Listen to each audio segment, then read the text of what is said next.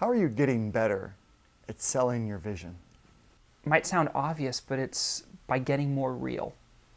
So, oftentimes, a vision is something you think of in the abstract.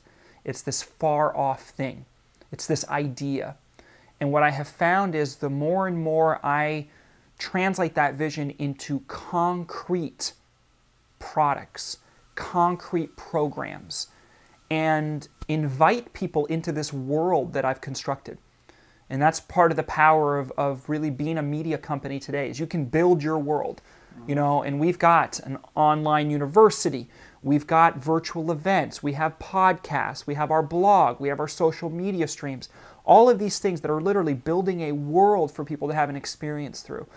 And so selling the vision is just helping people orient themselves in this world so that people show up and you know, first 10, 20 times I visited New York City, I was like this. Right? You're like taking it all in. You're like, wow. You're like wide eyed, going, man, this is cool. This is wild. Check this out.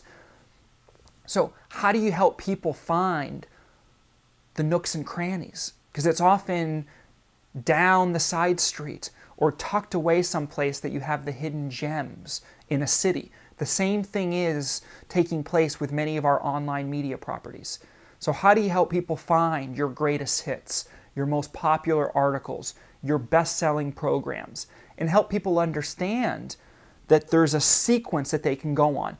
How one thing builds on another, builds on another, builds on another.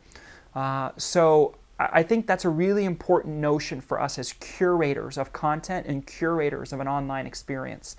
And that same principle, I've been applying it to how I sell the vision of Get Storied uh, by creating more and more things that are real.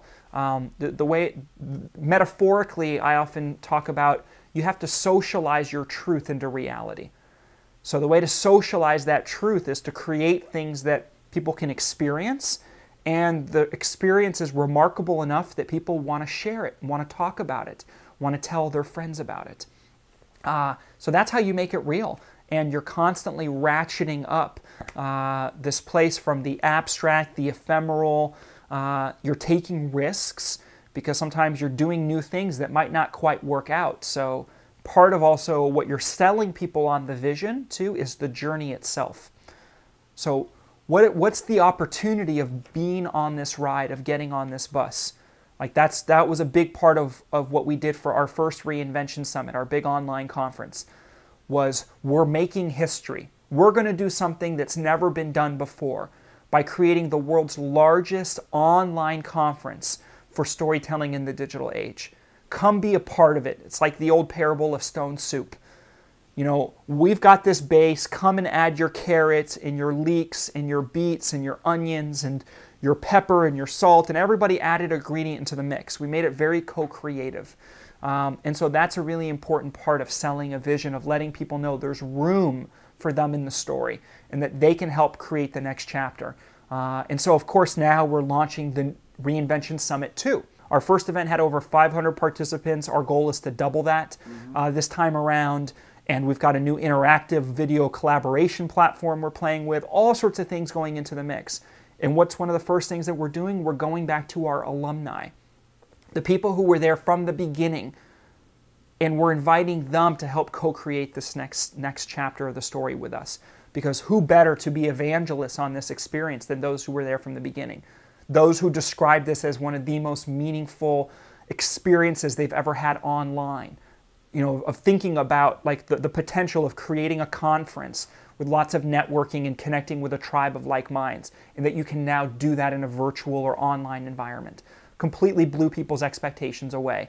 And now, of course, our goal is to you know, take that even to the next level. So that's, those are some of the ways I think you have to think about how to sell a vision.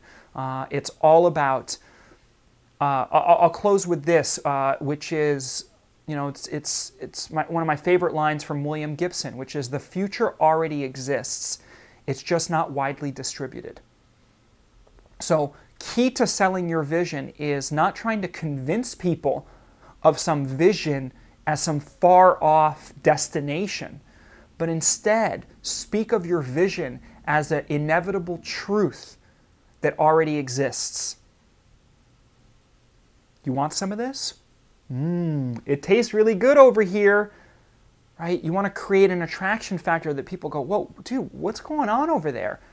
Man, I'll have what he's having. That sounds good.